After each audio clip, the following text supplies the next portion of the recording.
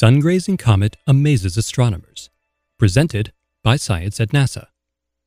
Note to comets stay away from the sun. On July 5th, a fleet of NASA and European spacecraft watched what happened when an icy comet got a little too close. A sun grazing comet swooped closer to the surface of the sun than we've ever seen before, says solar physicist Dean Pesnell of the Goddard Space Flight Center. And now, the solar system has one less dirty snowball. The Solar and Heliospheric Observatory saw it first, using an opaque disk to block the sun's glare. SOHO recorded the early stages of the comet's death. The comet grew a long, bright tail as icy material in its nucleus furiously vaporized in the face of intense solar heating. By the time it happened behind the sun blocking disk, the comet had become one of the brightest of the SOHO era.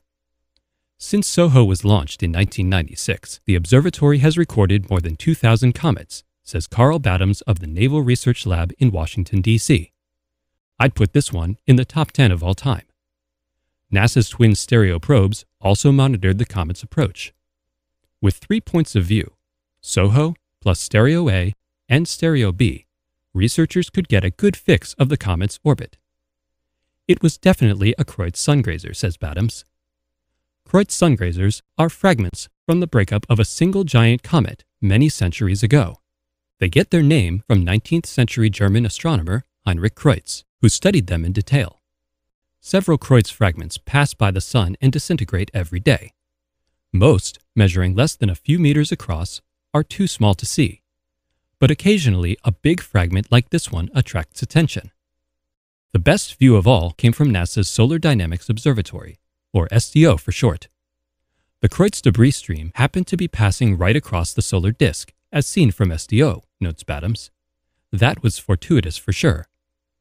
SDO's high resolution cameras recorded the comet's passage through the Sun's atmosphere, says Pesnell, the SDO project scientist. We were able to see the comet vaporize before our very eyes, the first time we have ever seen such a thing. Researchers are studying the video in detail to learn more about the doomed comet. How massive was it? What caused the comet to glow so brightly? In some parts of the movie, it appeared to be even brighter than the fiery sun behind it. And was the comet's tail actually wagging? Stay tuned for answers to these and other comet questions as the analysis continues. Updates can be found at science.nasa.gov.